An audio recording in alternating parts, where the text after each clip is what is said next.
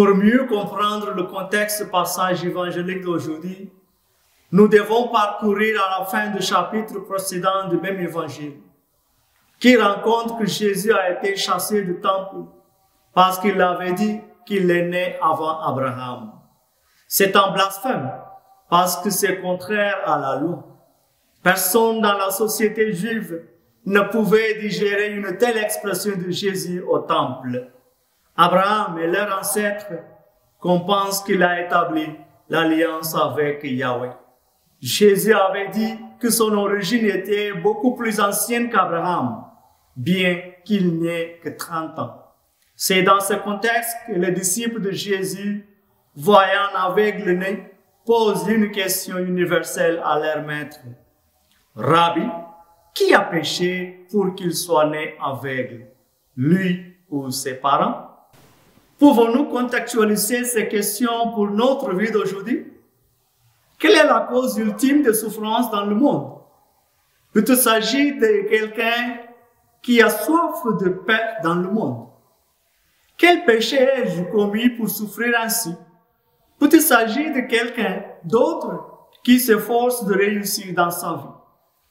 Pourquoi moi, qui suis juste aux yeux de Dieu, je dois souffrir? Qu'il s'agit d'un théiste qui offre tous les sacrifices pour plaire à Dieu. Nous pouvons énumérer les questions sur les causes profondes de violence, des souffrances et de destruction dans ce monde. Il y a d'innombrables questions d'aveugles nés, sourds et mouillés et avec d'autres incurables malades que nous avons tout autour de nous. Ils vivent des vies misérables, maudissent leurs parents jusqu'à la fin de leur existence et leur demandant pourquoi ils ne les ont pas éliminés étant enfants. D'autres vont jusqu'à mettre fin à leur vie parce qu'ils ne trouvent aucun sens à vivre avec des souffrances. Certains maudissent Dieu leur Créateur et leur société. C'est toujours par rapport à d'autres que la société considère les parfaits du monde. Il y a des degrés d'être dans ce monde et nous sommes plus à l'aise lorsque certains sont plus vulnérables et opprimés que nous. Par conséquent, l'évangile d'aujourd'hui est pertinent pour chacun de nous afin que nous puissions trouver nos histoires similaires à celles des aveugles nés. La société juive traditionnelle croyait souvent que la souffrance et la maladie étaient dues au péché des parents ou des grands-parents. Par exemple, nous prenons le prophète Jérémie, chapitre 31, verset 29. Nous lisons, En ce temps-là, on ne dira plus, les pères ont mangé du raisin vert, et ce sont les enfants qui en ont des dents rongées dans les Lamentations chapitre 5 verset 7. Nos parents ont failli et ils ne sont plus. C'est nous qui sommes chargés de leur perversité. Nous avons quelques références bibliques supplémentaires pour affirmer la malédiction générationnelle due au péché de nos ancêtres. C'est en ce sens que les disciples de Jésus avaient demandé à leur maître de connaître la cause de chaque maladie comme nous le ferions aujourd'hui s'il nous arrivait de le rencontrer pendant notre voyage dans ce monde. Les souffrances sont omniprésentes et souvent nous sommes obligés de penser que les souffrances, les guerres, la violence et les destructions sont des plans de Dieu.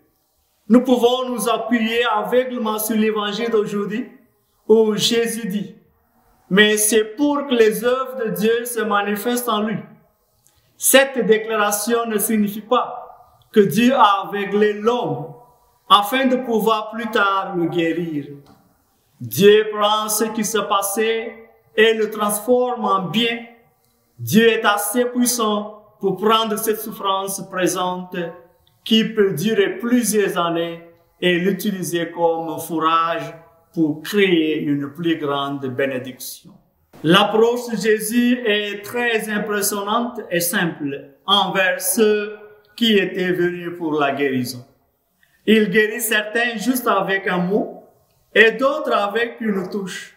et d'autres ont préalablement prié, et d'autres sont guéris à distance.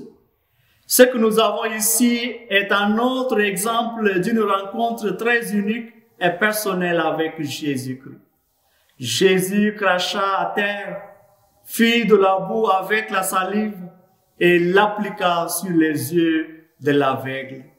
Le lavage à l'eau n'affecterait pas la guérison des yeux de l'aveugle, mais c'est un acte d'obéissance, comme lorsque Nama devait s'immerger cette fois dans la rivière et était guéri de la lèpre. Deuxième roi, chapitre 5, versets 10 à 15. L'aveugle né avait accepté de sortir de la malédiction générationnelle pour se laver les yeux afin de recevoir Jésus comme la lumière du monde. Paul dit dans sa lettre aux Romains chapitre 8 verset 1, il n'y a maintenant aucune condamnation. Si Dieu ne nous condamne pas pour nos péchés propres, il ne nous condamnera certainement pas pour les péchés de nos parents. La première lecture concerne l'onction de David comme roi d'Israël. Les hommes voient ce qui leur saute aux yeux, mais le Seigneur voit le cœur. 1 Samuel, chapitre 16, verset 7. Les jugements et les voies de Dieu ne sont pas ceux des hommes. Par cette guérison, Jésus se manifeste comme le Dieu miséricordieux. Ensuite, les gens autour ont eu un débat sur l'identité de l'aveugle né qui a ensuite pu voir. Il n'a pas acquis beaucoup de connaissances sur celui qu'il avait guéri, malgré qu'il ait affirmé son identité. Certains d'entre eux ne pouvaient tout simplement pas croire qu'il était la même personne. Les pharisiens, hommes de la loi, prétendaient connaître Dieu et tout ce qui concernait la loi. Mais l'homme né aveugle, qui connaissait très peu la loi, avait rencontré Jésus dans sa simplicité. Il avait vécu un miracle que ces savants ne pouvaient réfuter. Jésus a dit, Père Seigneur du ciel et de la terre, d'avoir caché cela aux sages et aux intelligents et de l'avoir révélé aux tout petits. L'évangile, c'est Matthieu. Matthieu 11, 25. Ils ont ignoré son témoignage, celui de ses parents et de tous ceux qui le connaissaient depuis de nombreuses années. Cet homme né aveugle a réalisé que la restauration de sa vue était un miracle de Dieu. Jésus trouvait l'homme né aveugle et lui a offert réconfort, assurance et vie éternelle.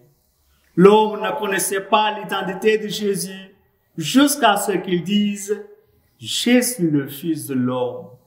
Puis il a dit, Seigneur, je crois.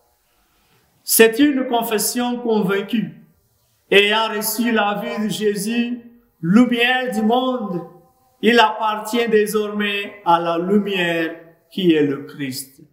C'est la lumière qui apporte une riche moisson de toutes sortes de justice et de vérité. Éphésiens chapitre 5, versets 8 à 9. Le point culminant de notre réflexion est axé sur les paroles de Jésus aux pharisiens. C'est pour un jugement que je suis venu dans le monde, pour que ceux qui ne voyaient pas voient, et ceux voyaient deviennent aveugles.